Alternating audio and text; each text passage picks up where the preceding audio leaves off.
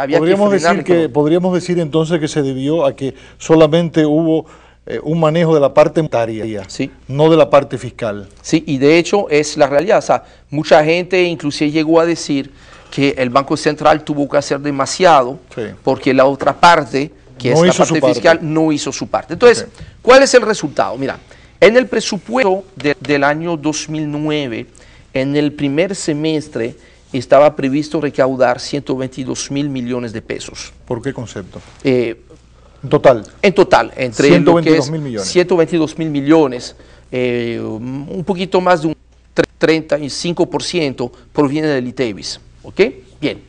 ¿Cuál es la realidad? La recaudación eh, se ha recaudado unos 112 mil millones de pesos. 10 Este, mil millones menos. Hay 10 mil millones de pesos Entre el estimado menos y entre lo- el y lo re- estimado y lo recaudado. Si lo comparamos el año pasado, que es importante, Sí. la caída es mayor, 17 mil millones de pesos. ¿Por qué es mayor? Porque básicamente se estimó en el presupuesto del 2009 partidas no recurrentes del año pasado que no se ha producido este año.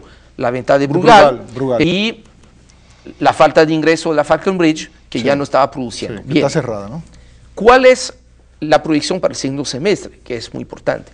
En el presupuesto del segundo semestre está previsto recaudarse 129 mil millones de pesos, o sea, mucho más. 7 mil millones más de lo que se esperaba en el... Sí, y, y- y entonces 17 mil millones de pesos más de lo que se recaudó realmente en el primer semestre. ¿Cómo compara esto con la recaudación del año pasado? En el segundo semestre pasado se había recaudado 118 mil millones de pesos. En otra palabra, la barra es muy alta para el segundo semestre. Entonces, vamos a asumir como si tú comparas eh, peras con peras, manzanas con manzanas, mangos con mangos, la recaudación del primer semestre de este año con la del año pasado se cayó entre un 7 y un 10% una vez que tú eliminas esos aspectos no recurrentes como Brugal y compañía. Bien, vamos a asumir que en vez de crecerse, empieza a recuperarse un poquito la economía en el segundo semestre y por lo menos logramos recaudar exactamente lo que se recaudó en el segundo semestre del año pasado, vamos a perder adicionalmente 11 mil millones de pesos de recaudación. Ahora, vamos a decir, eso es el mejor caso. Sí. Que entonces vamos a tener una pérdida en total para este 21 año. mil millones. 21 mil millones. Sí. Eso es el best case, Sí. el caso más favorable. Un caso razonable sería pensar de que en vez de caer un 10, va a caer un 5% neto en este caso, llevaríamos la pérdida total a 30 mil millones para este año. O sea que yo creo que eh, sería razonable pensar de que va a haber un faltante de recaudación a fin de año alrededor de 30 mil millones de pesos. ¿A dónde va todo eso? Es que, que no debemos de contar los ingresos del Fondo Monetario Internacional y otras multilaterales para cubrir este hueco. ¿Por qué? Porque en el presupuesto del año 2009 estaba contemplado, además de la recaudación, Sí. unos financiamientos para poder tapar la brecha, porque además los gastos normales, tú tienes que amortizar deuda. Este año el servicio de la deuda eh, superaba los 80 mil millones de pesos, por lo que para compensar el faltante entre ingresos y servicio de deuda, había que buscar financiamientos por 77 mil millones de pesos este año. Una suma considerable, tomando en cuenta la dificultad que ha provocado la crisis financiera global en los flujos financieros. ¿Cuál ha sido la situación al 30 de junio? En el caso del financiamiento interno, había consignado de los 77 mil millones, 20 mil millones en el presupuesto. Eh, al 30 de junio se había colocado en el mercado local 17 mil millones de pesos. O sea, básicamente ago- agotado en seis meses el presupuesto del año. ¿Por qué esto? ¿Porque estamos sobregastando? No, es porque sencillamente tú no has logrado colocar en el mercado externo o no has conseguido en el mercado externo financiamiento. ¿Por qué digo eso? En el presupuesto del año 2009, 77 mil millones menos 20 mil millones, te quedan entonces 55. 57 mil millones, Sí. que son unos 1.530 millones Que sería de lo que se podría conseguir con el Fondo, el Fondo Monetario Internacional. Entonces, de esos 1.536 a la de junio, apenas se han conseguido 230 millones de dólares. Faltarían 1.300. Entonces, básicamente, lo que estamos diciendo, y es este, para mí matemática 101, Lo del fondo y de las multilaterales es conseguir lo que está consignado en el presupuesto Correcto. para hacer la brecha, asumiendo que del lado de los ingresos, los gastos que están previstos en el presupuesto, todo está bien. Correcto. Lamentablemente, tenemos adicionalmente una brecha de ingreso de 30 mil millones de pesos. Entonces, Ok. ¿cómo tú Ahí es que compensas? entran entonces los bonos, Claro, los pues, bonos ¿cómo- sober- cómo- soberanos. ¿Cómo se había logrado compensar esta brecha de 10 mil millones de pesos en el primer semestre?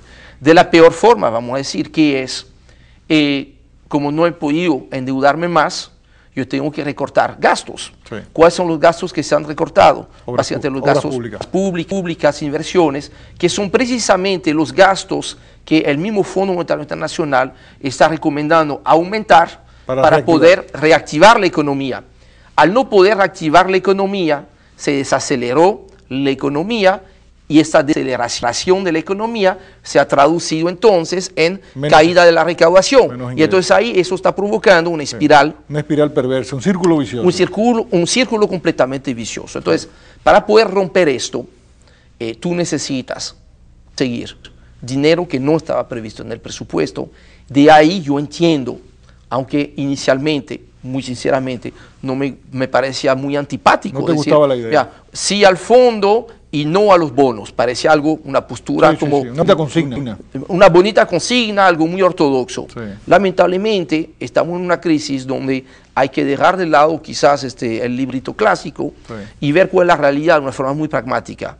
Están faltando ingresos. Si no logramos este, conseguir dinero para este, compensar esta caída de ingreso, va a ser peor el remedio que la enfermedad, porque ahí sí se va a producir una reducción de gastos del lado de eh, las obras especialmente, y eso va a demorar más la recuperación de la economía y agravar el clima de las recaudaciones. Eso es el temor que yo tengo. Entonces, eh, debemos procurar un buen acuerdo con el fondo, ¿verdad? Para que no solo el fondo, sino también el BID y el Banco Mundial, pues Claro. redondeen el paquete hasta 1.500 millones de dólares por un lado. Sí. Y luego colocar los bonos y esperar que esa emisión de bonos pueda ser adquirida, ¿verdad? Mil millones de, de Sí. dólares. Parece que hay un clima favorable, Sí, ¿verdad? no, además- luego de, de que el fondo te endose su confianza. El, el- fondo te permite dos cosas. Primero, tener una tasa más barata para la emisión de bonos sanos.